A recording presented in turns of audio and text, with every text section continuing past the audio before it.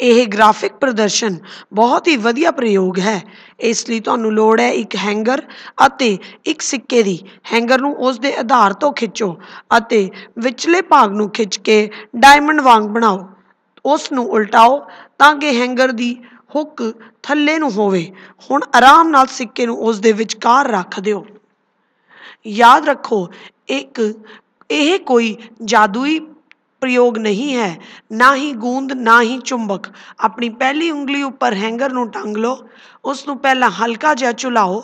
ਫਿਰ ਜ਼ੋਰ ਨਾਲ ਸਿੱਕਾ ਹੈਂਗਰ ਉੱਤੇ ਟਿਕਿਆ ਰਹੇਗਾ, ਰੋਟੇਸ਼ਨ ਦੀ ਫੋਰਸ ਦੇ ਕਾਰਨ। ਉਸੇ ਤਰ੍ਹਾਂ ਜਿਵੇਂ ਸਾਡੀ ਧਰਤੀ ਸੂਰਜ ਦੇ ਆਲੇ ਦੁਆਲੇ ਘੁੰਮਦੀ ਹੈ ਅਤੇ ਉਸ ਦੀ ਉਸ ਤੇ ਡਿੱਗਦੀ ਨਹੀਂ, ਤੁਸੀਂ ਥੋੜੀ ਦੇਰ ਲਈ ਉਸ ਨੂੰ ਝੁਲਾ ਸਕਦੇ ਹੋ। ਤੁਸੀਂ ਹੁਣ ਉਸ ਨੂੰ ਹਿਲਾਉਣਾ ਬੰਦ ਕਰ ਸਕਦੇ ਹੋ। ਇਹ ਬਹੁਤ ਰੋਮਾਂਚਕ ਪ੍ਰਯੋਗ ਹੈ।